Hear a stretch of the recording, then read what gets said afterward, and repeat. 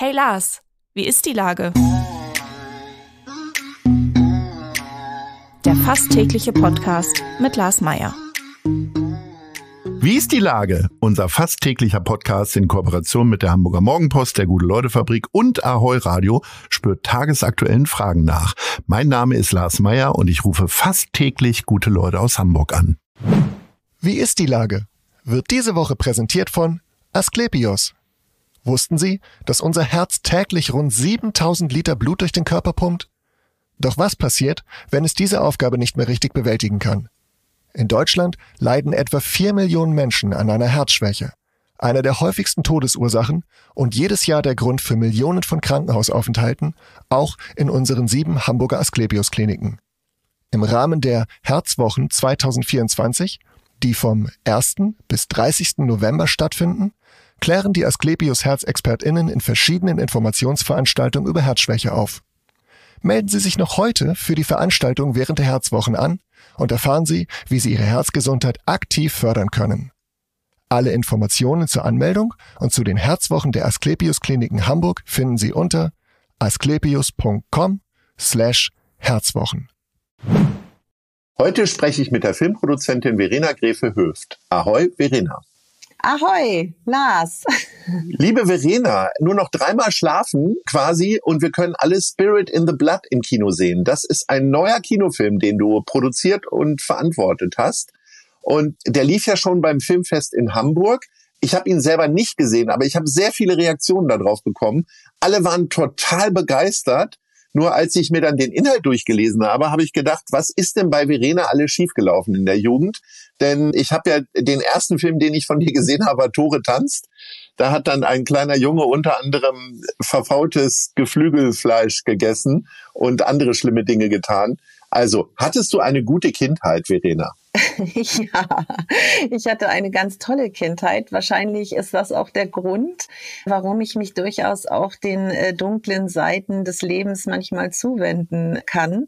Wobei ich sagen muss, ich finde, ganz ehrlich, können wir im Kino und bei fiktionalen Geschichten, glaube ich, das Dunkle, was es in der Welt teilweise gibt, ja sowieso gar nicht ab bilden, weil die Realitäten ja oft viel gruseliger sind als das, was wir im Kino je zu sehen bekommen. Und ich muss sagen, bei Spirit in the Blood. Das ist eigentlich ein Coming-of-Age-Thriller, der unheimlich viele auch positive Gefühle bei den Leuten hervorgerufen hat. Bei den Screenings, die wir jetzt beim Hamburg Filmfest und auch in Sieges hatten, weil der sehr viel mit Female Empowerment zu tun hat. Und eigentlich haben viele Leute mir auch gesagt, das erinnert sie so ein bisschen an den Film. Ich weiß nicht, ob du dich an den noch erinnerst. Stand by Me. Oh ja, na klar von 80er Jahre Kultfilm und viele sagen, ach, der hat ein bisschen was davon. Es, es sind halt Mädels diesmal und keine Jungs.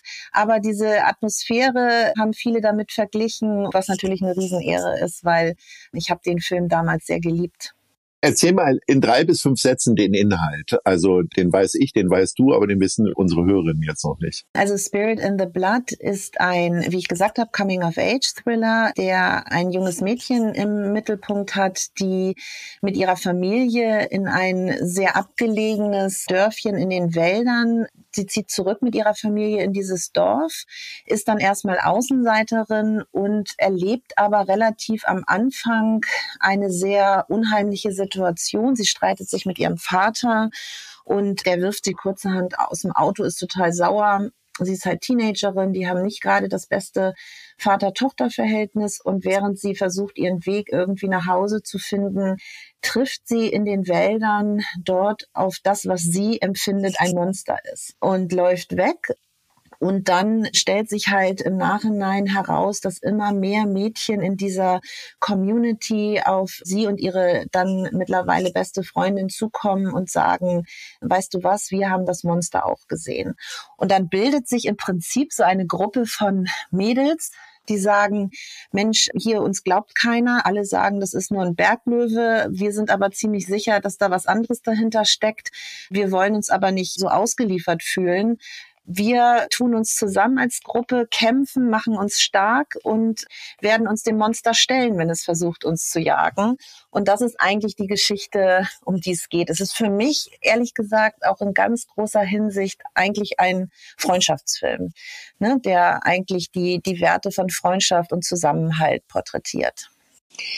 Wann hast du das erste Mal die Idee oder das Drehbuch gelesen?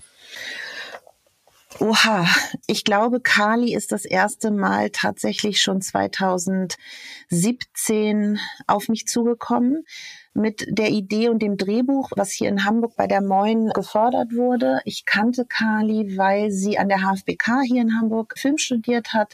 Ich habe an der HFBK unterrichtet und so sind wir uns im Prinzip das erste Mal begegnet. Sie kannte auch meine Filme, die ich bis dato gemacht habe und meinte, Mensch, Verena, ich habe ein Projekt, das würde ich gerne machen und hat mir das vorgeschlagen und hat auch einen, wie ich finde, sehr, sehr persönlichen Ansatz gehabt. Sie ist ja Kanadierin, lebt aber schon seit über zehn Jahren in Hamburg, hat hier auch studiert bei Wim Wenders und hat mir erzählt, dass sie als junges Kind in der Grundschule eine sehr merkwürdige Begegnung hatte, nämlich sie hat gespielt da auf dem Spielplatz bei der Grundschule und da ist ein Auto vorbeigefahren mit einem Mann und der hat sie an den Zaun gerufen, weil sie so ein schönes Kleid an dem Tag anhatte und wollte ihr Komplimente zu dem Kleid machen. Und in dem Moment, als sie zu dem Zaun lief, hat er versucht, sie über den Zaun zu ziehen. Und das sahen aber Lehrer und sind eingegriffen, also es ist nichts weiter passiert. Aber sie sagt, was sie sich, wie es in ihrer Erinnerung ist, wenn sie mit ihren Eltern oder auch anderen Lehrern und Erwachsenen gesprochen hat, die haben das alle runtergespielt und haben alle gesagt, Mensch, und der wollte nur mal dein schönes Kleid angucken und das ist nicht so schlimm und es ist ja nichts passiert und hin und her. Und dieses Gefühl von, ich habe doch was erlebt und irgendwie glaubt mir das niemand so richtig das war so ein Grundgefühl, was sie im Prinzip mit sich genommen hat und auf dem nicht unbedingt dieser Film basiert, aber der schon auch mit diesen Gefühlen spielt. Ne? Du erlebst etwas und eigentlich sagen Leute die ganze Zeit, ach komm, das bildest du dir doch ein und das ist doch alles gar nicht so schlimm und es gibt doch gar keine Monster, zum Beispiel wie bei Spirit in the Blood. Und es ist doch nur ein Berglöwe und, und, und. Also es ist eine Reise von sieben Jahren, darauf wollte ich hinaus. Wie ist denn jetzt so das Gefühl, wenn du jetzt quasi der breiten Öffentlichkeit den Film vorstellst? Also ist es irgendwie auch Unbehagen, dass sieben Jahre irgendwie umsonst waren? Oder ist das Glas halb voll und du sagst so, ich finde den Film gut, da gehe ich mal von aus, und äh, wer ihn nicht gut findet, hat selber Schuld.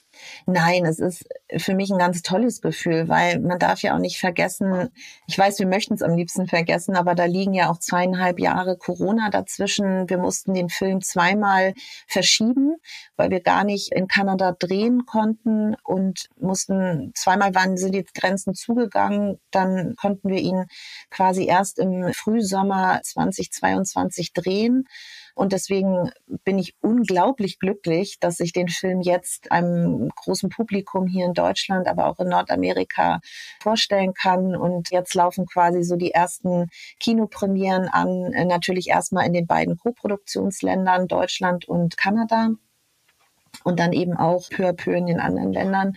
Ich freue mich riesig darauf. Und ich habe auch ein sehr gutes Gefühl, weil wir bei der Premiere in Hamburg tatsächlich das auch geschafft haben, viele Teenager und junge Mädels und Jungs einzuladen, sich diesen Film zu gucken und auf eine sehr, sehr positive Resonanz äh, getroffen sind. Und da bin ich jetzt einfach gespannt. Ne? Also findet das junge Publikum ins Kino? Das ist ja immer so ein bisschen die Frage. Sprechen wir mal weiter über junge Leute. Du bist ja auch Lehrbeauftragter an der Hamburg Media School und ich sag mal so, jeder 14-Jährige kann mittlerweile Filme schneiden, also Reels und eine Kamera bedienen, also sein Handy. Die werden also viel praktischer und natürlicher mit dem Medium Film irgendwie konfrontiert. Wächst da eine große Generation an Filmschaffenden heran? Oder ist es eher so, dass die Tatsache, dass auch viel weniger Leute ins Kino gehen, eher der Nachwuchs ausbleiben wird? Ich glaube, dass Bewegtbilder immer wichtiger werden, also auch für die junge Generation natürlich. Leider vermisse ich manchmal an Grundschulen oder überhaupt auch weiterführenden Schulen eine kluge Auseinandersetzung mit dem Medium Film. Weil klar, wie du sagst, kann zwar jeder sein Handy in die Hand nehmen und einen Kurzfilm drehen, aber es gehört doch irgendwie ein bisschen mehr dazu, das Ganze auch ein bisschen reflektierter zu tun und jenseits von ich bin Influencer und drehe jetzt hier mal einen kleinen Clip und da mal einen kleinen Clip. Also ich glaube, dass da ein bisschen mehr dazugehört und ich kann mir vorstellen, wenn man das Ganze auch in der Bildungspolitik nochmal ganz anders aufgreifen würde, das Thema Film und bewegte Bilder, dass wir dann vielleicht eher eine Situation haben wie in Frankreich, wo die Leute und auch die Jugendlichen natürlich nochmal ganz anders ins Kino stürmen und auch die Kinozahlen andere sind als bei uns in Deutschland. Ja. So, jetzt kommen wir zu Nice oder Scheiß? Du darfst sagen, ob du loben möchtest oder ob du irgendjemanden runterziehen möchtest. Wofür hast du dich entschieden? Oh, das hast du jetzt aber. Jetzt bin ich in der Zwickmühle. Nee, komm, mach mal also Scheiß. Loben kann ich, mach mal Scheiß, okay, weil loben kann ich natürlich immer Malika zum Beispiel vom Filmfest. Ja. Aber wenn ich Scheiß machen müsste, dann würde ich sagen, was ich in Hamburg nach wie vor problematisch finde, ist das ganze Thema öffentlicher Nahverkehr und überhaupt Verkehr, angefangen von den Fahrradwegen bis zum Flughafen. Da ich natürlich viel mit internationalen Gästen und Produzenten und Schauspielern zu tun habe, ist das für mich natürlich die Situation am Hamburger Flughafen eine Vollkatastrophe, dass die Leute teilweise weder hierher kommen, noch wie das Ganze irgendwie organisiert ist, ist eigentlich ein Trauerspiel dafür, dass wir die zweitgrößte Stadt in Deutschland sind. Aber ich fahre auch durchaus gerne gerne Fahrrad und lege da auch eine Strecke zurück, weil ich ja dann aus Niendorf-Schnelsen komme. Und da muss man sagen, da lässt man manchmal schon richtig vernünftige Fahrradwege missen. Das ist natürlich irgendwie nicht schön. Und jetzt mit der Krisenbaustelle auf der A7, mit den ganzen Brücken, ne, man würde halt sehr gerne häufiger aufs Fahrrad auch zurückgreifen. Aber die Fahrradwege finde ich in Hamburg nach wie vor unglücklich gelöst. Und wenn es dann mal Lösungen gibt, wie hier bei dem Tunnel, den wir hier in Ottensen haben, dann sind das teilweise so heizbrecherische Fahrradwege, dass ich immer Sorge habe, dass da irgendwie jemand wirklich mal ums Leben kommt. Also das finde ich schwierig.